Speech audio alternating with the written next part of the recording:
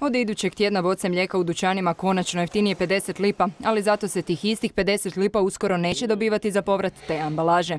Bolje jeftinije litra mlijeka nego da se dobiva tih 50 lipa za bocu. Mislim da je ipak pravednije da je mlijeko jeftinije.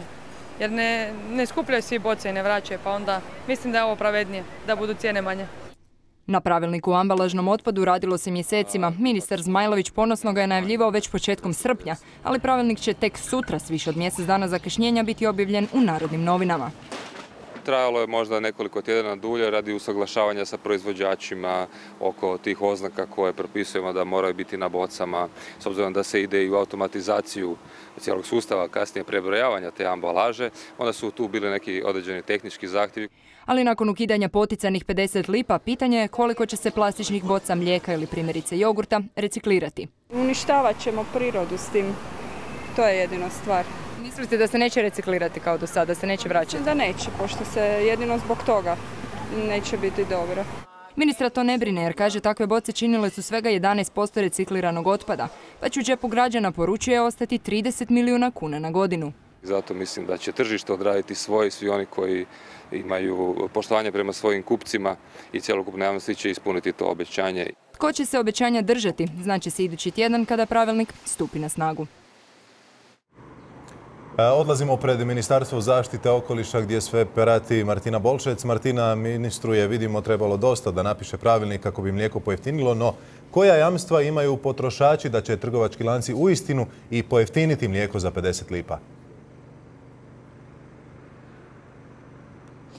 Pa jamstvo im je njihova dana riječ. E, naime, ne postoji niti jedan zakona, niti ovim pravilnikom se ne može propisati i narediti, da tako kažemo, trgovcima da zaista ispuste cijene e, samim time što se ukida povratna naknada za ambalaže mlijeka i mliječnih proizvoda. Međutim, kontaktirala sam neke velike trgovačke lance. U Hrvatskoj i od njih tri dobila sam isti odgovor, dobar je za kupce.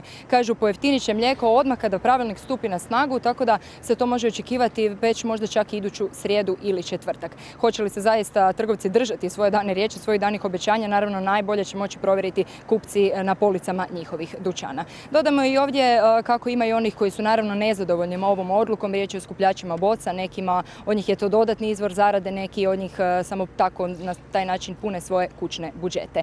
Međutim, trebamo i objasniti kako je tih 50 lipa jedna cirkularna, odnosno kružna naknada, dakle vi kada dođete kupite mlijeko u plastičnoj boci, vi ste već u toj cijeni koju ste platili, platili tih 50 lipa koje ćete dobiti natrag kada bocu vratite.